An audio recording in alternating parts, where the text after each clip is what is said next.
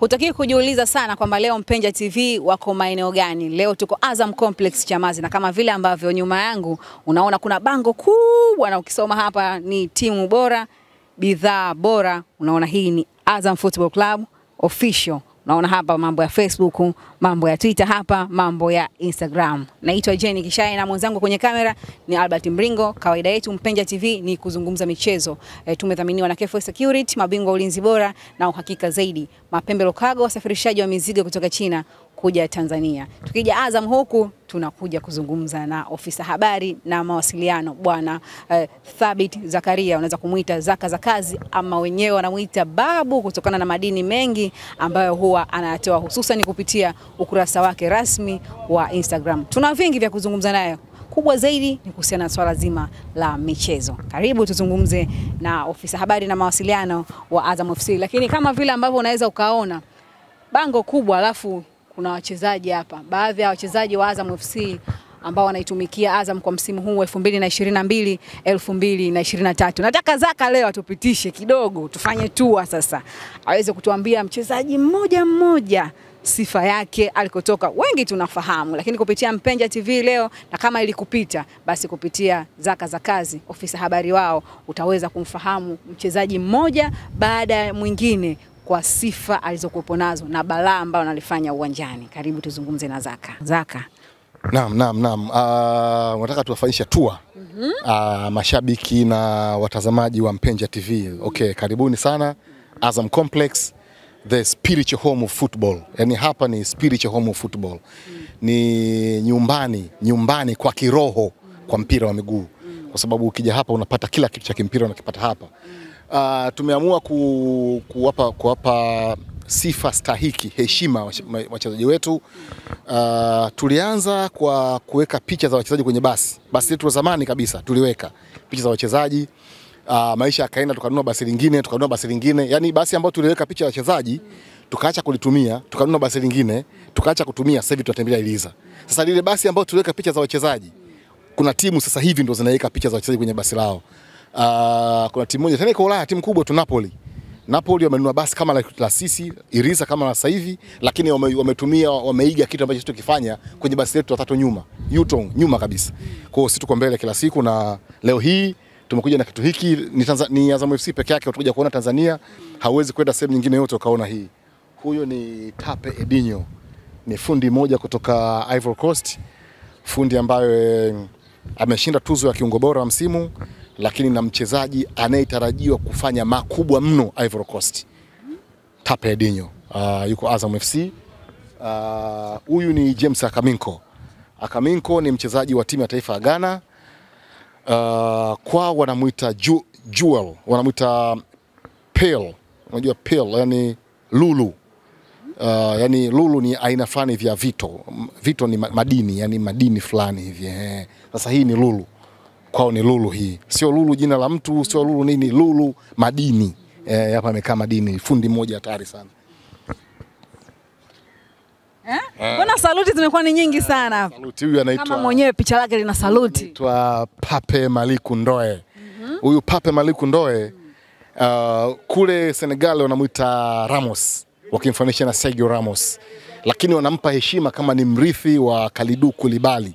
Koulibaly ni kamanda mmoja kwenye safu ya ulinzi ya timu ya taifa ya Senegal. Uh, ni rock, ni mwamba kwelikweli ambaye sasa hivi yuko Chelsea. Kwa hiyo Pape Maliku Ndoe ndo mwamba yuko hapa Azam FC. Nini siri Zaka ya wachezaji wengi wa Senegal kuwa jina Pape Pape Pape? Tunaona hata hapa pia tunaye mchezaji Pape Osman Sako, lakini pia Azam FC mnaye Pape. Ah, leso lako hilo bwana. Umetumwa wewe. Hapana, nitumwa na nani? Uh, majina, kila nchi yana utamaduni wake wa majina. Kila sehemu ukienda, kuna watu wana utamaduni wao wa majina. Sasa kwa Senegal, uh, mtu Pape sio jina, yani sio jina lake, jina lake ni Maliku Ndoe. Lakini sasa uki, ukisikia mtu yoyote Senegal jina lake linaanzia na Pape au Pap, wenyewe wanasema Pap, sio Pape, ni Pap eh, ni Pap. Yani huyo mtu jina ambalo anatumia amerithi jina la babu yake. Sasa huyu jina yake ni Maliku Ndoe. Sasa ile Maliku ni jina la babu yake, umeona eh?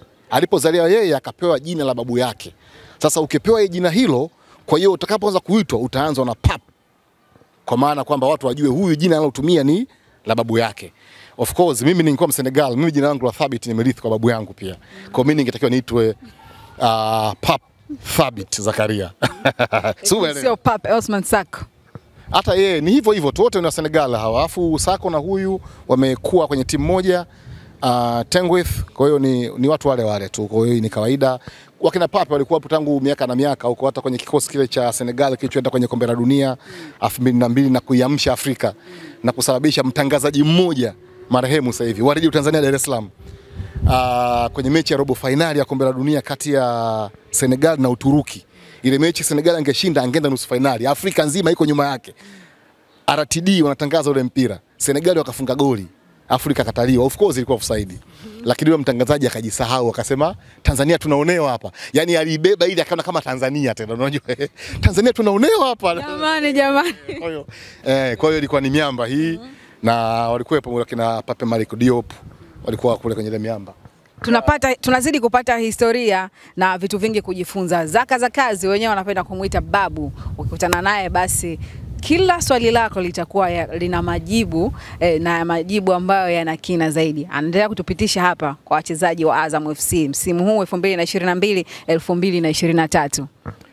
mwamba mwenyewe kabisa, baba mwenye nyumba. Uh, unasema hakuna kijiji kisicho na wazee. Sasa kijiji cha complex cha Azam Complex, mzee ni huyu hapa. Agre Morris miaka 38 sasa anatafuta 39, lakini bado anafanya mambo yanakwenda. Amejiunga Uh, na Azam FC mwaka 2009 uh, muda mchache tu baada ya Azam FC kupanda daraja, kwa sababu Azam ilipanda daraja ikaanza kushiriki ligi kuu 2008 2009. Ulipoanza msimu wa 2009 2010 ndo mwamba akaingia, na angeweza kuingia ule mwaka wa kwanza ule 2008 2009. Tatizo ni kwamba muda usajili ulikuwa mdogo sana. Unajua uh, ile ligi ambayo Azam FC ilicheza na kupanda daraja kwenda ligi kuu uh, iliisha Julai 27 Julai 27. Alafu ligi mpya ikaanza uh, Agosti 20. Ni chini ni pungufu ya mwezi mmoja. Unajua hapa ni fafupi sana. Kwa hiyo pilika za usajili timu changa bado haijajua mbilinge nyingi za usajili akashindikana kuja msimu wa kwanza. Msimu wa pili akatua. Eh, mwamba huyu. Kwa hiyo angekuepo tangu msimu wa kwanza lakini ilishindikana. Hata wachezaji wengi waliosajiliwa na Azam FC walikuja dirisha dogo wakati ule. Kama Philip Alando Uh, utakuwa umemsikia umesha kumsikia Philip Alando, lakini labda niwaambie watazamaji wa, wa, wa Mpenja TV jina lake ni George, sio Philip, ila wakati anacheza mpira alikuwa anafananishwa na Filippo Inzaghi, kwa hiyo akamwita Philip kwa sababu ya Inzaghi. Matokeo yake jina likazoeleka zaidi na lile jina lake hasa alilopewa na wazazi wake likasahaulika. Kwa Alando jina lake halisi kabisa ni George Alando. Philip ni jina la utani la kwenye mpira akifananishwa na Philip Inzaghi. Alikuja uh, dirisha dogo la 2008 2009. Ah, mwamba kabisa huyu hapa huyu Idris Ilunga Mbombo muti ya Kongo eh, Lubumbashi. Huyu jamaa bwana, huyu jamaa ni mwamba kweli kweli. Huyu jamaa amefanya vitu vikubwa sana kwenye mpira wa Afrika, cheza nusu fainali 2016 akiwa na Zesco, Zesco dume kabisa. E, tunaye hapa alichelewa kuadapt msimu uliopita mazingira na nini, lakini akaamka siku za mwisho na bila shaka msimu huu atafanya vikubwa zaidi. Eh, eh, eh, Ajaa huyo. eh, eh, eh. Na kama kachukua nafasi kubwa sana. Ah, Huyu jamaa anadaka, yani huyu jamaa mkono wake mmoja unajua anashika mpira hivi, lakini huwa anashika goli zima. Yani goli anza kalishika hivi eh. Goli zima akashika hivi katosha. Ni mtu kweli kweli. Uh, Ali Ahmada mzaliwa wa Ufaransa, kakulia Ufaransa, kacheza mpira wa Ufaransa, kwa mara ya kwanza anakuja Afrika. Of course asili yake ni Komoro na baada ya ku, kucheza kwenye timu za vijana za Ufaransa akachagua kuchezea timu ya nyumbani ya Komoro.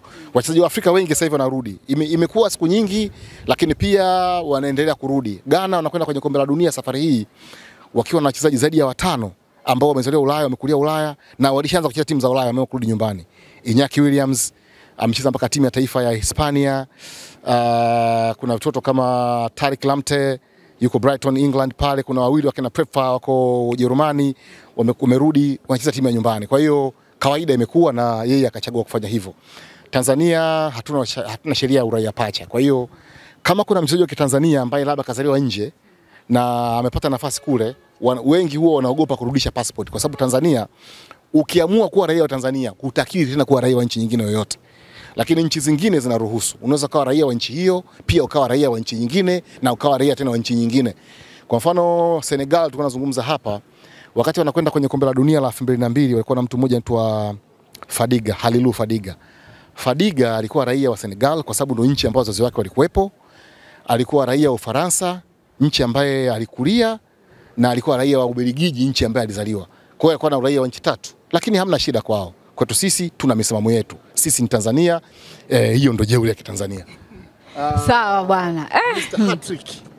Hattrick. Sema Mr. Hattrick. Mr. Hattrick. Eh, Mr. Hattrick. Huyu ni sabuni ya kusafisha gloves na nyavu za kwenye ligi ya Tanzania, mipira michafu, uh, magoli machafu, gloves za makipa machafu, yeye ndo anasafisha sopu. Mbona unasisitiza sana hapa? Eh, si ndo anapiga hattrick huyu, umesahau bwana? Wewe umesahau bwana huyu. Ah. Mchezaji bora wa kombe la shirikisho la Azam Sports, mfungaji bora wa kombe la shirikisho la Azam Sports na mfungaji wa hattrick kwenye fainali ya kombe la shirikisho la Azam Sports, kitu ambacho hakijawahi kutokea. Haijawahi kufungwa hattrick kwenye fainali ya kombe la shirikisho la Azam Sports tangu mashindano yaanze mwaka 2015. Mwamba kaja kachana kila kitu, sio tu kafunga hattrick, aliwafunga sasa Tunafahamu jamani, tuendelee. tu. Idi Suleiman Nado, fundi kweli kweli, fundi kweli kweli. kutoka Kondoa. Eh, kijana kutoka the, the boy from Kondoa. Ah, huyu jamaa maelekezo yake machache, kuna vitu vingine vinajiongea vyenyewe tu. Anavaa jezi namba 23. Hii jezi ina, ina, ina siri kubwa sana. Hii jezi pia ilikuwa inavaliwa na David Beckham alivyoenda LA, alivyoenda Los, Los Angeles Galaxy ya Marekani. Lakini kwa nini Beckham alivaa? Alivaa Beckham kwa heshima ya ya Jordan Michael Jordan kwenye basketball alikuwa na jezi namba 23. Kwa hiyo Jordan Michael, my, uh, Beckham alichukua hii namba kwa sababu ya heshima ya ya Michael Jordan. Aka hiyo Beckham akaivaa kule Galaxy, akaivaa PSG alivyoenda kwa mkopo, akaivaa AC Milan uh, alikwenda kwa mikopo katika vilabu vingine akavaa, alikuwa anavaa jezi kwa sababu ya heshima hiyo. Na mwamba pia ni hiyo hiyo. Kwa sababu ya heshima ya wakubwa ambao wamemtangulia. Hao unaozungumza ni watu wakubwa sana. Uh, Beckham ni winga na huyu pia ni winga. Japo wanafananishwa na, na, na Ronaldo kwa sababu Idi Nado unajua ni Ronaldo. Hii Nado ni Ronaldo. Eh, ni Chris, Cristiano alikuwa anafananishwa naye wakati yuko Ashanti. Huyu amekulia Ashanti. Kuna timu moja iko Ilala pale uh, Kenya Kenyantura, kijana fulani wa Ilala wa- wajanja wajanja wa mjini wauza mitumba.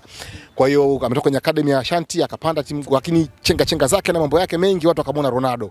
Kwa akaitwa Ronaldo. Na wakati ule alikuwa anaitwa Ronaldo wa, Shanti Miaka mingi baadaye ikabadilika kwa Edinado, ndio mpaka leo Edinado uh, mwamba kabisa. Msimu uliopita aliumia, lakini atarudi muda si mrefu na watu watapata balaa lake.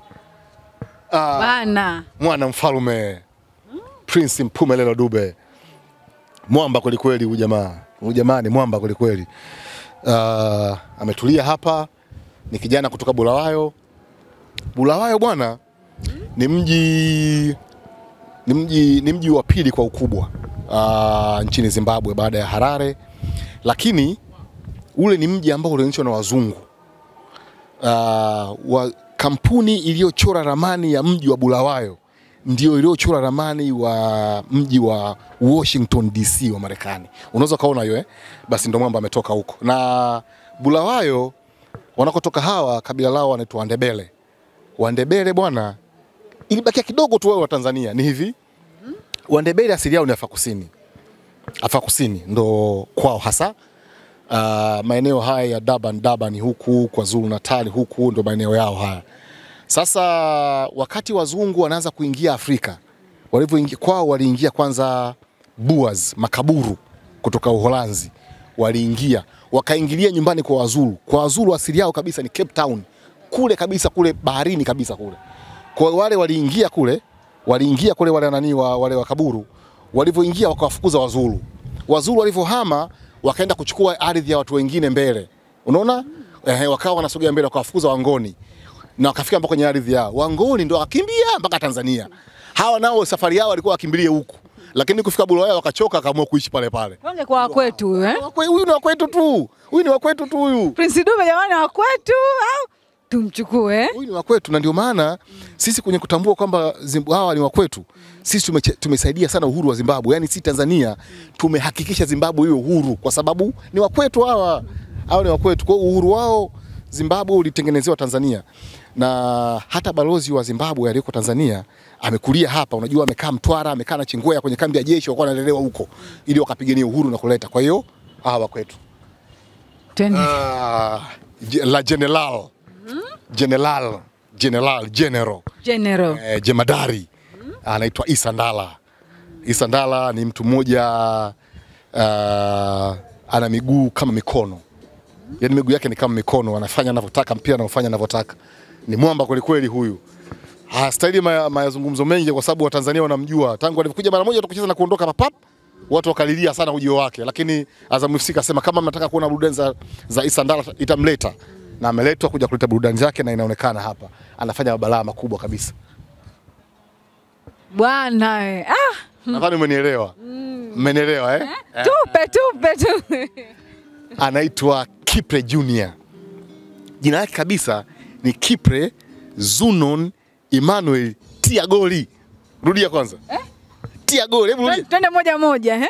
Kipre Kipre, Zunon Zunon, Emmanuel Emmanuel, Tiagori Tiagoli. Junior. Junior, hii Tiago umeiongeza wewe bwana zako. Hapana, ni jina lake kabisa, ni jina lake kabisa, yani jina la ndani ya ukoo wake. Yani nilivyotaja haya majina ndio yanavyo mpangilio wake uko hivyo hivyo hivyo hivyo, ndo majina yake hayo. Kwa hiyo Zaka na Tiagoli ipo. huyu Tiago Tiagoli kabisa, Tiagoli huyu, huyu ni Tiagoli, ndio maana anasema hakusikii. Hebu sema kwa nguvu kwanza, nani? Hakusikia. Eh, Tiagoli. Ah, Eh, hajasikia, hajasikia. Eh, anataka ongeza sauti, ongeza sauti. Eh, mwamba kabisa huyu hapa. Eh, eh, huyu hapa mwamba mwingine anaitwa Azamax. huyu ni mwamba mwingine anaitwa Azamax, Ma- Azamax 2. Huyu ni mwamba mwingine. Hana baya. Eh, huyu ana baya. Kuja kwenye Azam kwa anajua nini kiliendelea. Eh, Naam, naam, naam. Kwa hiyo hii ni baadhi tu, mabango mengine yako sehemu nyingine, yako sehemu nyingine kwa ajili ya wachezaji wa Azam FC na mambo ni barabara kabisa. Kama ambavyo umeweza kumsikia ofisa habari na mawasiliano wa Azam FC Thabiti Zakaria Zaka za kazi, huwa ana madini mengi sana, na tukipitia katika mtandao wake rasmi wa Instagram kule, huwa tunakutana na vitu vingi sana tunasoma, na kuna kipindi hivi watu wakanajiuliza, mbona kama Zaka alikuwa andiki andiki hivi? Nilikuja kuzungumza naye. Akasema kuna vitu vilikuwa viko sawa, lakini baadaye madini yakawa yanaendelea, anatupitisha. Leo tuna tour ambayo tunaifanya hapa Azam FC. Kubwa zaidi pia tunazungumza michezo kama kawaida yetu Mpenja TV. Tumedhaminiwa na Josen Traders, wauzaji wa vifaa vya ujenzi wanapatikana Buguruni Chama, lakini pia Robi Sportswear, wauzaji wa viatu original na vya kijanja wanapatikana Kariakoo Msimbazi, mkabala kabisa na Shell ya Big Bone. Mwaka huu ukishindwa kuitwa mama au baba mwenye nyumba, umejitakia wewe mwenyewe. Embu fikiria tu, Josen Traders tuna kibubu na tunapokea malipo kwa miezi mitatu kupitia akaunti yetu ya benki. Baada ya hapo, unachukua vifaa vyako vya ujenzi. Usafiri kwa Dar es Salaam ni bure, na kwa mikoani kampuni tutakuchangia nauli. Ushindo wewe tu. Tunapatikana Buguruni, mkabala na stendi ya daladala ya Buguruni Chama. Kwa maelezo zaidi, wasiliana nasi kwa namba 0713155352. Josen Traders for your building solutions. Unajiuliza namna gani utapata taarifa za michezo zenye uhakika kwa timu zipendazo? Ni rahisi sana. Mpenja TV ipo kwa ajili ya kukupa matukio yote makubwa kutoka kwenye maeneo mbalimbali, mashabiki, wachezaji, viongozi wa michezo. Hapa ndio kwao. Sasa tembelea chaneli yetu ya YouTube kupitia simu yako au laptop, andika Mpenja TV ukutana na taarifa kibao za uhakika, kisha bofya subscribe uwe mwanafamilia na bofya alama ya kengele upate taarifa kila inapoingia, na pia fuatilia updates za taarifa zetu kupitia Instagram kwa kuandika Mpeja TV underscore. Mpeja TV tunazungumza michezo.